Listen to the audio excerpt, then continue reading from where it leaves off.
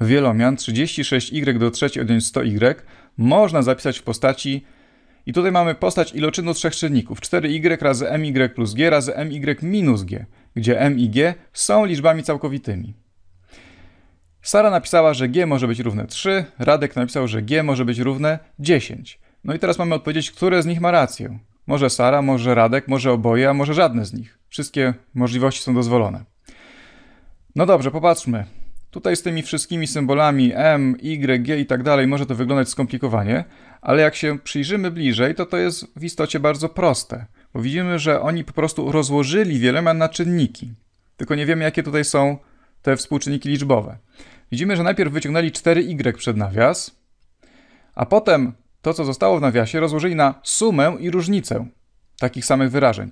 No więc iloczyn sumy i różnicy to jest różnica kwadratów, czyli widzimy, że po wyciągnięciu 4y musieli rozpoznać, że to jest różnica kwadratów, no i rozłożyli tę różnicę kwadratów na, sumę, na iloczyn sumy i różnicy. Więc zachęcam Cię teraz, wciśnij pauzę i spróbuj samodzielnie to rozwiązać. Wyciągnąć najpierw 4y, a potem to, co zostanie, rozłożyć tak, jak się rozkłada różnicę kwadratów. No właśnie, no to ja to zrobię. Dokładnie tak, jak powiedziałem. Czyli mam mój wielomian wyjściowy 36y do trzeciej, odjąć 100y.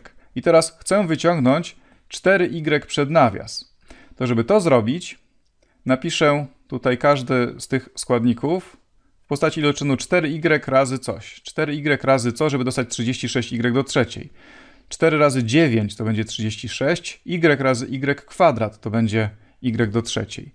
Czyli, może podkreślę, że to wyrażenie to jest dokładnie to samo co to. Tylko inaczej zapisane. I potem mamy odjąć, znowu wyciągnę tutaj 4y i przez co muszę pomnożyć 4y, żeby dostać 100y? No przez 25. Czyli to jest to samo 100y to jest to samo co to.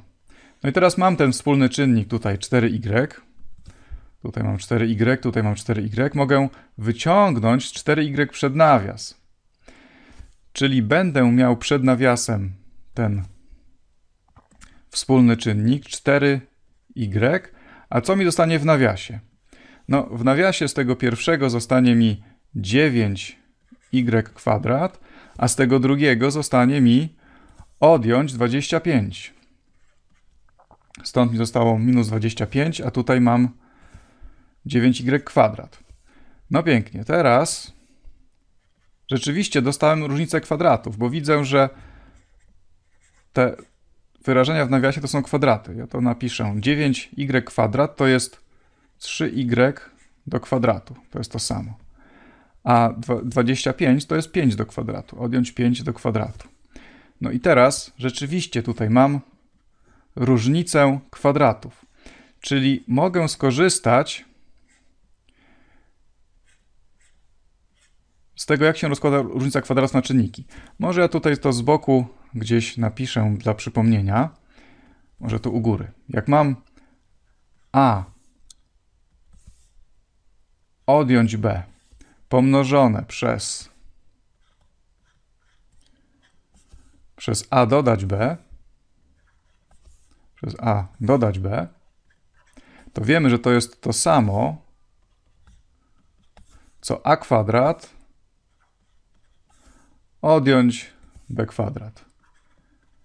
Jak wygląda dla Ciebie dziwnie nie, albo nieznajomo, no to zachęcam, obejrzyj sobie film na temat rozkładu różnicy kwadratów na czynniki.